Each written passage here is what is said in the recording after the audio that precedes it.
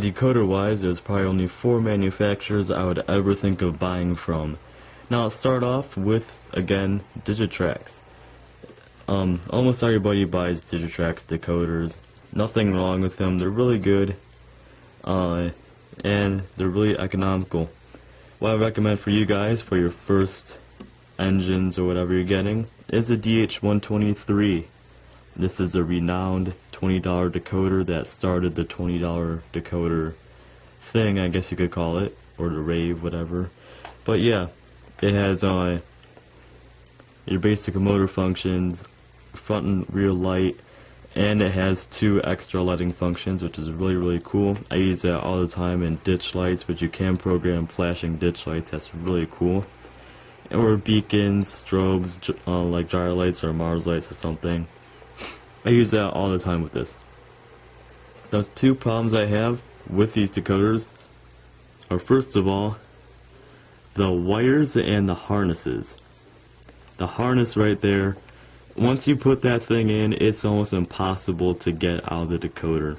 At least for me that is. I had to pry it with the screwdriver and stuff without pulling the wires out, right, like of the thing right there.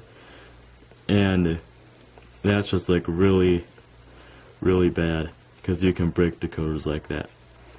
Second thing is the um, actual internals of it. I've had maybe three to four Digitrax decoders entirely stop working while they were running. I had trains running for maybe 10 minutes without touching them. The decoder stopped working, the engine stopped, or actually like went out of control, or that that is like you couldn't control it and the decoders never worked again. Resetting them, everything, they don't work. I guess you could add a third thing to that, and that is the customer support. You can't send these in to get um, a refund for them. So yeah, if they would figure out those uh, three issues I had, this would probably be my number one recommended decoder. But we're going to save that for the last product we look at, Let's look at what NCE has to offer. For NCE, the one thing I have to recommend is the D13 SRJ. That's a D the that's a D13 with the plug on it. I think that's a 9-pin plug. Um, it does not say. Oh yeah, it is 9-pin right there. Okay. So yeah, I would get that. Now, there are a couple problems with this. Again, the harness, like the Digitrax, is not that good. The customer service is a little bit better. If there was a uh, software issue, or if it just stopped for no apparent reason, like Digitrax, they will accept it for refund.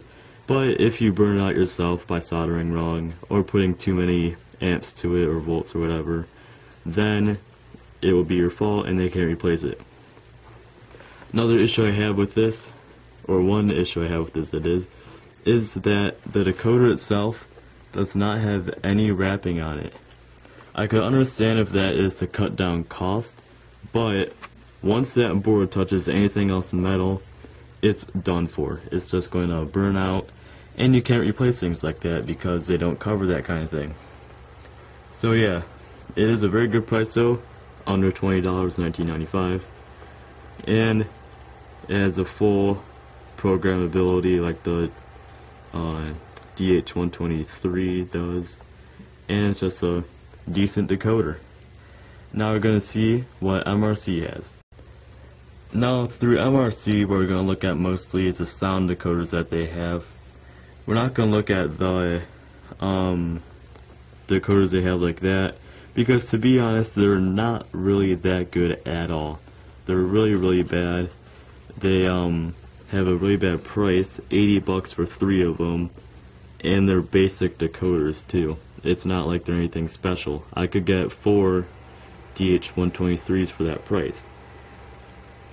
Uh, what we are going to look at is their sound decoders. These are a really good price, like really, really good price. And that's mostly what they're um, targeted to are price biased consumers. And what they have, or what they offer that is, is a lot of different decoders or something else. Oh, there, oh, there we go, okay. They have every sound decoder you could think of. They're mostly all drop-in, and they actually have two pages of them. But yeah, they just like drop into everything that you could think of, mostly Athearn, Atlas, and Lifelike. But yeah, now they're offering the 16-bit series with a bunch of different prime mover sounds. As you can see, $65 with the speaker baffle, capacitor, and everything. That's a really, really hard price to beat. Uh, Digitrax stuff does, I can't talk today, does have some things, but you have to program them with a separate computer programming unit to get the full features out of them. As compared to these, everything's preloaded. They have 36 horns and uh, like 14 bells pre-installed, 5 prime mover sounds, and they're really, really good. Now let's move on to my number one most rated company of all time, I guess you could say. Of all time, I don't know. But that would be TCS. TCS is awesome. Like I said, I use their T1 decoders all the time, and I recommend them all the time. I recommend them for very, very good reasons. First of all is build quality. Build quality is awesome. The actual wires they have and use are really good, never had any problems. They're long enough to reach everything inside the engine that you're going to need to reach. And the harnesses too. The harnesses are perfect. They stay in once you plug them in, that's what she said. But they are really easy to get out too, again, that's what she said, as compared to the Digitrax. So they're a lot better in that aspect. They're also smaller dimension-wise. They are, um, I'll use mine here. They're thinner that way is going to focus on my hand. There we go. Thinner that way, and it's smaller lengthwise, and I think width is the same. But that can be something that can be really, really helpful. Say in this F unit here, this isn't actually true, but all you have is that little space. That'll fit perfectly. A DH123 or a D13 SRJ is not going to fit back there. So yeah, the size is a great thing. Another thing that's great about these decoders is the programmability. Now here's the instruction manual for this one. As you can see everything's perfectly laid out. If you want the front light, which is the white wire, to have a Mars light going forward only, you're going to program CV49 to 2. And that's all you have to do. And that rhymed as compared to the Digitrax I'll show you right now. This, my friends, is the manual for all Digitrax decoders. Now, this is crazy. There's actually about 60 pages. I only have maybe half of it here. But, as you can see, it's just a bunch of random codes that's almost impossible to decipher. And it's really bad. Like right there, you have to figure out everything yourself as compared to TCS that everything is already done for you and it's a lot better laid out. It's really really good. You have to also print out this yourself at home or you can go on the website to buy it printed out. And it's just a huge hassle to try to figure out how to get flashing ditch lights. If you want to do that it's not stated in the included manual as it is in the T again. Oh my god, in the TCS one it is in Digitrax, like the normal one that comes with it. It's not explained. Nothing is explained at all, other than like installing it, and that's it. So that is definitely why I recommend TCS. And the final thing, like I stated before, you can't beat TCS's goof-proof warranty. You send any of their product in. Let's go to T6X series. Like anything in that list, you can send into their company, and with no questions asked, they'll send you a brand new one for free. Well, they test it first, obviously. If it still works, then they're going to send it back to you.